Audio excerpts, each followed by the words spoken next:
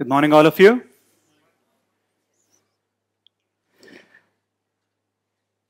My topic today is bending the rules of manufacturing the additive way.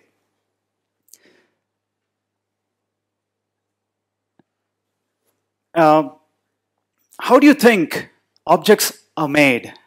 Be it a safety pin, or a robot, a motorcycle, or an aircraft. Manufacturing is a vast subject covering interesting techniques to get the part together. Conventionally, it starts with the design, part manufacturing, and assembly of these parts together to give the part its final shape. These are some of the conventional techniques such as casting, forming, joining, which are used to make parts together. One of the other techniques is machining, where subtractive manufacturing techniques are used and material is removed to get the part its final shape and size. Some of the other conventionally made parts are also subjected to subtractive techniques such as turning, milling, drilling, and tapping to remove the excess material that's not necessary and finally arriving upon the parts. The non-metal parts such as plastics, glass, and rubber are conventionally molded into the shape that you'd need. These are all conventional processes which have been in existence for many decades now. These, with time, have gotten more productive and reliable. The, they have the capability to produce high volumes of identical parts in a very short duration of time. Economies of scale and mass production have led to cost-effective manufacturing of parts or objects in the field of food industry, FMCG, automotive sector, electronic sector. Let's have a look at the impact of mass uh, production on our lives. Bajaj Auto makes a three-wheeler every 24 seconds. Maruti Suzuki has a car coming out every 8 seconds. Hero MotoCorp has a motorcycle coming out every 2.2 seconds. Apple produces 10 iPhones every second. These are all peak production figures. This is the impact manufacturing has on our lives. However, this is changing now. The buyer is getting more demanding. People want to see change much sooner. People want to see new things much faster. This is shrinking the product life cycle. What used to take many years, a car design which did not have to be modified for 8 or 10 years, today are getting obsolete in 2 or 3 years' time. Now, products and processes are getting smarter. Digitization is changing the entire scenario. We've heard of different techniques such as virtual reality, augmented reality, which are very beautifully complementing the manufacturing process and improving the production processes. Now, one such technique which is revolutionizing the way things are being manufactured is 3D printing or additive manufacturing. As opposed to the conventional techniques we just saw some time back, additive manufacturing is a process which can manufacture parts in a very short period of time. It started by being called as rapid prototyping, mainly because the original application was to produce parts in a very short duration of time. But today it's moved from being just a prototyping technique to actually being used for batch production and in many areas, actual full production. We'll have a look at some of these. So what is 3D printing? 3D printing is a technique where you take a three-dimensional image or a model of a part, it's sliced into thousands of two-dimensional drawings or uh, uh, images and reproduced in the physical form layer by layer. So you can see here the parts, uh, uh a pyramid is actually sliced into multiple thin layers which are then reconstructed together in the physical form. Now, one can print parts in sand, in polymers, ceramic, metal, graphite, and latest is diamond, which means even the hardest of the material are today being 3D printed or additively manufactured. Now, 3D printing is not only being used for decorative items, but also a lot of practical applications. 3D printing has uh, many advantages, such as creating complex parts, printing multiple parts integrated as a single assembly, and others. Now, what this is doing to the industry is moving the manufacturer closer to the consumer. Conventionally, as you can see, we have the manufacturer routing the parts of production process through various intermediate stages before it's actually available to the consumer. But now the whole chain, the entire product development chain is actually being shrunken where you can see uh, the entire demand supply chain is getting shorter. That's what 3D printing is doing. Now, metal, metal printing has been growing rapidly in, uh, in the world today, also uh, in India, uh, mainly because of its applications. Today, one can print alloys of metal of titanium, aluminum, inconel, different forms of stainless steel, uh, other ferrous material, uh, cobalt chrome, etc. for industrial applications. One of the techniques which is popular uh, in metal printing uses a laser head as a power source to selectively melt metal powder of thin thickness of thickness of about 30 to 60 microns. This thickness is as much as a, a single strand of hair. Now, selective laser melting, as this is popularly known, um, can produce intricate objects uh, which are functionally superior and very suitable for the end use application. Now, this has been catering to the growing demands of metal printing, which we saw earlier were being used uh, where conventional techniques like casting, forging, and other forms of forming and joining were being used. Going ahead, 3D printing is actually uh, booming in the medical sector right now. We have, uh, how many of you knew that hearing aids are actually being 3D printed and are custom specific, which means a patient specific hearing aid is being printed today everywhere. None of the conventional processes are being followed to make hearing aids. Uh, customized human implants for bone replacements are being uh, 3D uh, printed or additively manufactured. When a patient or a person goes through bone loss, either as a part of a head injury or a uh, injury or an accident, or a cancer patient undergoes bone loss, uh, there's, there's bone replacement that's required. Conventionally, the doctor has two choices, either a standard implant, which is pre-prepared, pre-manufactured to a standard size, or a patient-specific implant, which is designed or manufactured through 3D printing uh, in a very short time through a reverse process where a scan file of an MRI or a CT scan file is used to create that image in a very short time and 3D printed and supplied those implants in very short periods of time. In this, this process, this way of uh, printing medical implants, which are custom specific or patient specific, have been used uh, for applications such as cranioplasty, uh, maxillofacial surgery, mandibular replacements, uh, dental copings, orthodontic bridges, femoral stems, acetabular cups. These are all parts or joints which are already uh, being used extensively in and outside India. Now, 3D printing is a very powerful technology which is actually saving human lives. There are many cases where people have needed these very urgently and they, were, uh, they have been manufactured and lives have been saved through 3D printing. Now this process has um, a very interesting uh, uh, advantage which is called as osseointegration wherein porous structures can be provided on these implants which are conventionally impossible to manufacture and osseointegration as you can see in the image here allows bone tissues to grow through them hence making it more rigid and gets well accepted by the human body.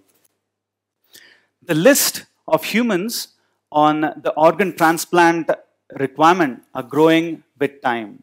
The number of donors and the availability of organs are very low. What is happening today is a lot of research in actually 3D printing human organs or tissues. Today, there have been success cases where portions of liver and heart tissues have been successfully implemented, implanted into human body, and they're being well accepted.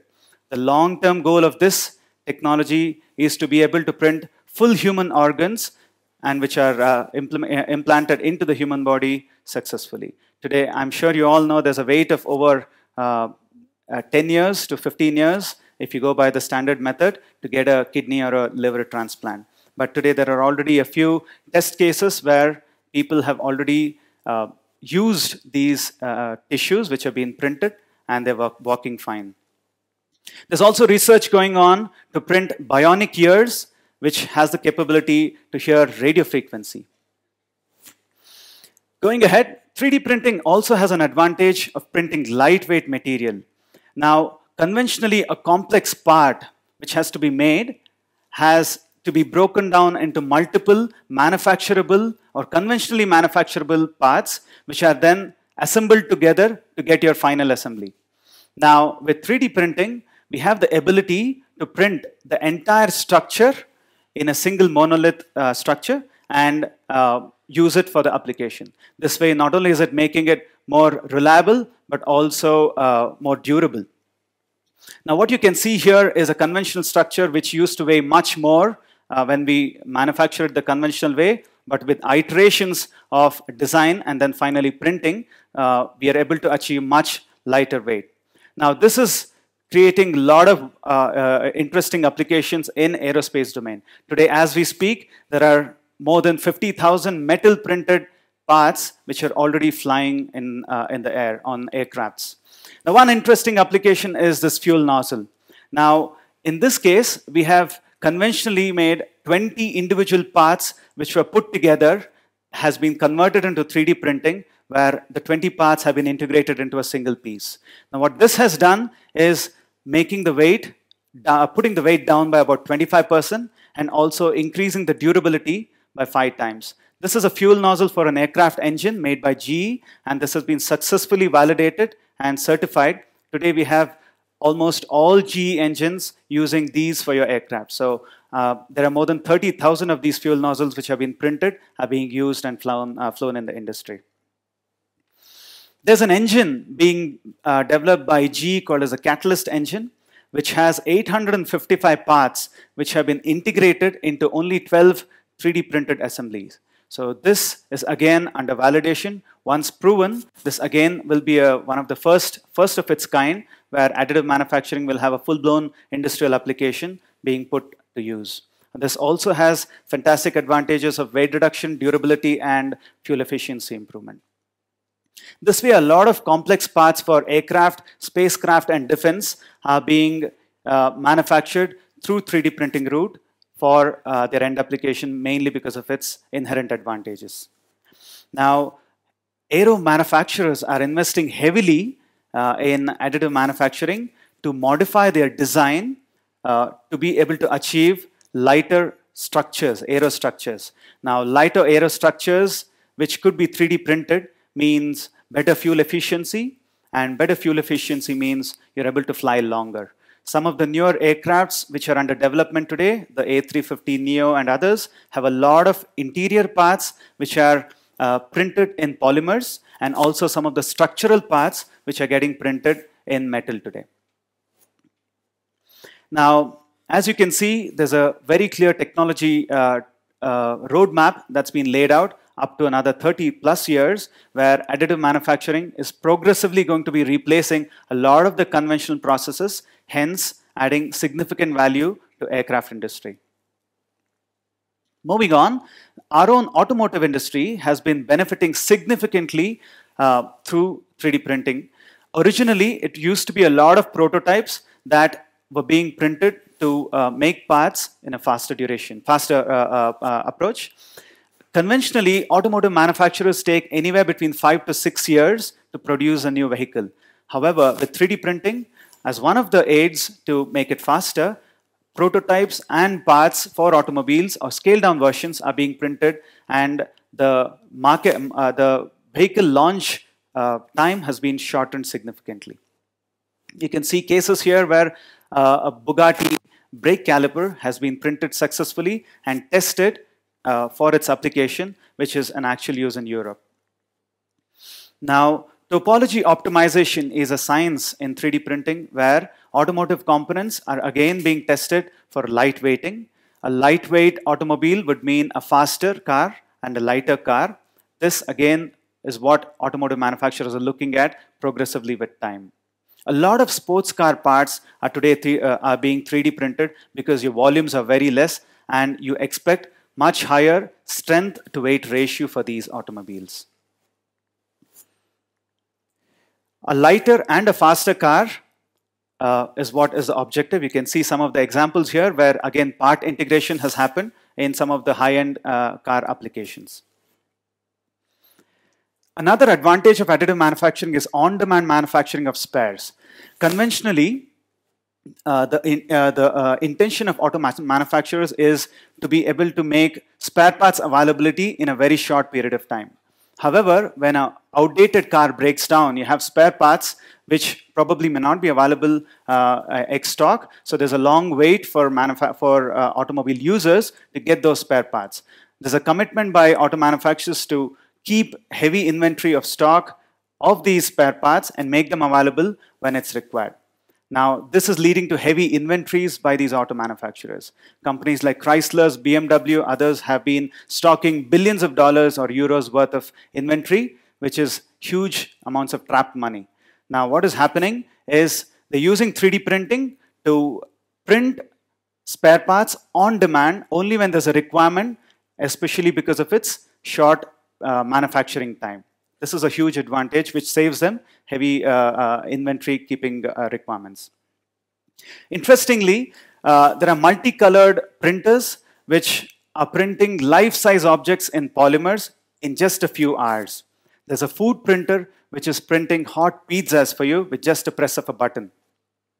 Today there are buildings, structures, and bridges that are being 3D printed, again to save construction time. There is, uh, there's a gold printer which is available, which can print intrinsic lightweight designs and very intricate designs uh, very cost effectively because you could have a different variety for each customer. Now, the capability to produce different varieties of parts and material is actually changing and creating limitless opportunities to designers and triggering their creativity. Now, this technology very well complements or augments with electric vehicles, fully customized automobiles, uh, autonomous vehicles, morphing wing aircrafts, your hypersonic aircrafts, and things like that. We have examples of uh, uh, 3D printed objects even going to space and beyond. The Chandrayaan project that uh, was concluded yesterday also had many 3D printed parts which was taken off in all the three uh, rover, orbiter, as well as the lander units. The future of manufacturing is here, and it's revolutionizing the way objects are being made. We have 3D printing changing the entire scenario. We are living a mass customization is a, a process where we have diverse demands of different customers being addressed in uh, industries uh, of different sectors. We have the entire batch size of manufacturing shrinking with time. Now, what you're likely to see in the future is distributed manufacturing, where uh, it takes advantage of underutilized capacity of equipment, and we have uh, fewer machines that would be required, and the utilization of equipment would increase with time. What we're likely to see uh, today uh, is communication and leverage of technologies such as Industry 4.0, smart manufacturing, and uh, we're living in a global village where information exchange happens in few seconds, um, and advancements in uh, transportation and logistics has made uh, availability of parts to reach any corner of the world in very, very short durations of time. We are bitten by the digital bug manufacturing is changing the dimensions. We have, uh, we have interesting parts. Uh, we have additive manufacturing, challenging the entire conventional process of manufacturing, and it's actually bending the rules of manufacturing. Now, digital manufacturing has actually opened doors and leading to limitless capabilities, limitless freedom, and limitless opportunities. Thank you.